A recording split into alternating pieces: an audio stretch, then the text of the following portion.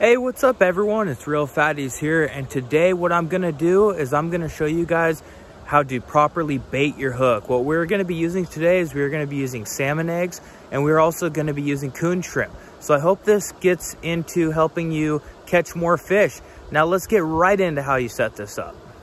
All right, what's up everyone? It's Reel Phatties here. What I'm gonna be doing today, so I'm gonna show you guys how to properly put bait on your hook. So what we're gonna go ahead and do right here, what we got is we got our two aught hook and this has got an egg loop knot. So as you can see here, you can go ahead and pull out the back loop here. This setup that I'm running is a float fishing setup. I will put the link in the description below for how I rig this up. I've made a tutorial on that. So what I'm gonna do first of all, is I'm gonna grab out a nice sack of eggs. I'm gonna go ahead and put it on top of my cooler there. I'm gonna grab out my scissors. What I'm gonna do here is I'm gonna cut off a nice chunk of the eggs, about that size. It all depends on where you're gonna be fishing, how much eggs you're gonna be using. What I'm doing right now is I'm fishing for king salmon, so that's a perfect size clump. What I'm gonna do here is I'm gonna go through the skein one time. See, it's through the skin there. Then I'm gonna go ahead and go through it again, through it again. I'm gonna go ahead and keep threading this through the, through the skein here until I know it's nice and on there tight. And then what I'm gonna go ahead and do is I'm gonna grab my egg loop knot, which I have right through the back here. I'm gonna go ahead and bring it through the bottom of the eggs down here.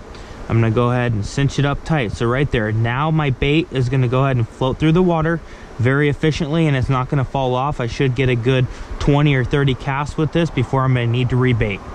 So what I wanna get into next is how to properly put coon shrimp on your hook.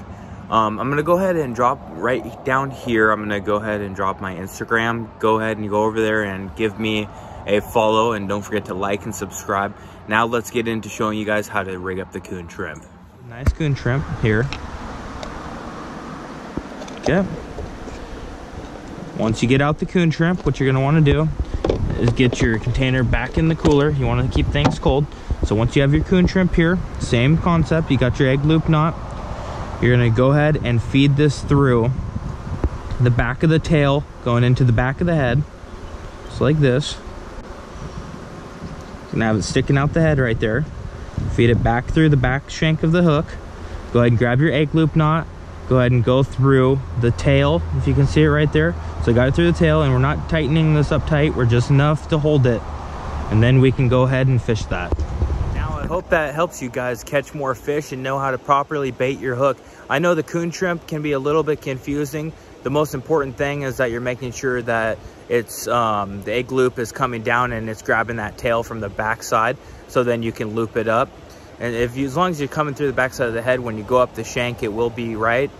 Now, you guys could really help me out by leaving a like and a subscribe to help this channel grow. We're trying to get it to a thousand subscribers and we cannot do it without you. Thank you and peace.